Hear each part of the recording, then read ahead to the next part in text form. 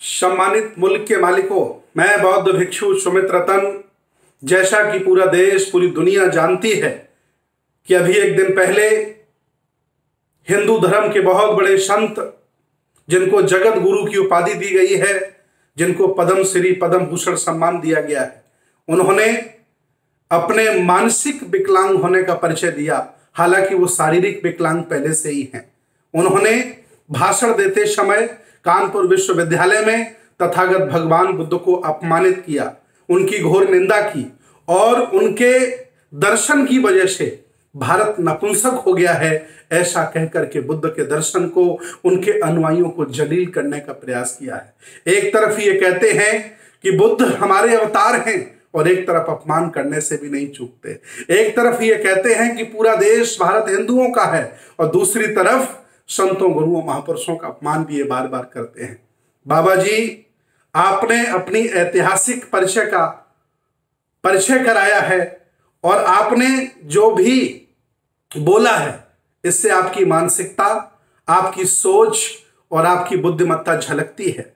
आपने करोड़ों बौद्धों का, करोड़ों बुद्ध के अनुयायियों का अपमान किया है।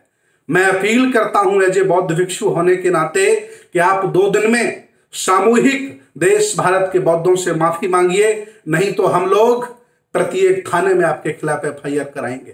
प्रत्येक डिस्ट्रिक्ट लेवल पर राष्ट्रपति को संबोधित करते हुए ज्ञापन देंगे और जगह जगह आपके पुतले फुकवाएँगे। क्योंकि आप इसी के लायक हैं। हालाँकि पूरी दुनिया जानती है कि तुम्हारी संस्कृति क्या, तुम्हारा दर्शन क्या है, तुम्हारा धंधा क्या है तुमने अंधविश्वास के नाम पर, पाखंडवाद के नाम पर, लोगों को मूर्ख बनाने के नाम पर, ईश्वर के नाम पर बड़ी बड़ी जो दुकानें चला के रखी हुई हैं, उन दुकानों पर ताला लगता है बुद्ध की वजह से, इसलिए आपको बुद्ध अच्छे नहीं लगते हैं। लेकिन जो अपमान आपने किया, ये धर्म निरपेक्ष भारत है।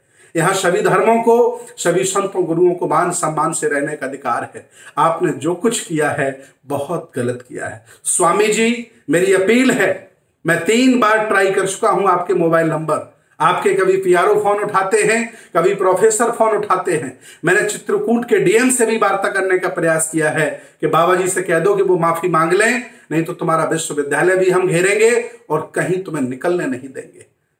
भूल जाइएगा कि कोई बुद्ध का अनुवाई नहीं रहा। देश भारत में चप्पे चप्पे पर बुद्ध के अनुयायी रहते हैं। यह देश बुद्ध का है।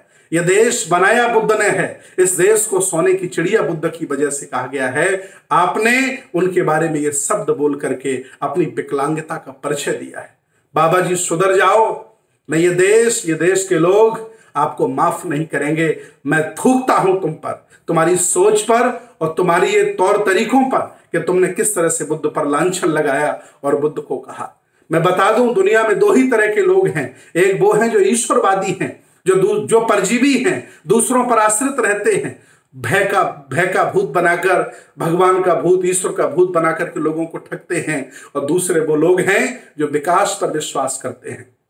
वो ये नहीं मानते हैं कि दुनिया किसी ने बनाई है। वो ये मानते हैं कि दुनिया का धीरे धीरे विकास हुआ है। बुद्ध भी यही मानते हैं कि दुनिया का धीरे धीरे विकास हुआ है। संसार परिवर्तनशील है। साढ़े बारह सौ साल बुद्ध के दर्शन ने शासन किया है, आज आपको मौका मिला है। सम्मान करिए, न हमको मौका मिलेगा, फिर हम भी वही करेंगे। हालाँकि मेरे संस्कार, मेरी संस्कृति मेरा दर्शन ये इजाज़त नहीं देता कि अगर कुत्ता काट ले तो कुत्ते को हम काटें।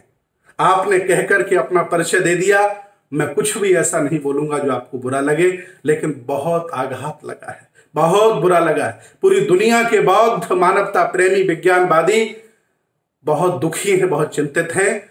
शर्म अगर आ रही हो तुम्हें और तुम्हारे लोगों को तो माफ़ी मांग लीजिए। कार्रवाई रोक दी जाएगी। बहुत बहुत धन्यवाद।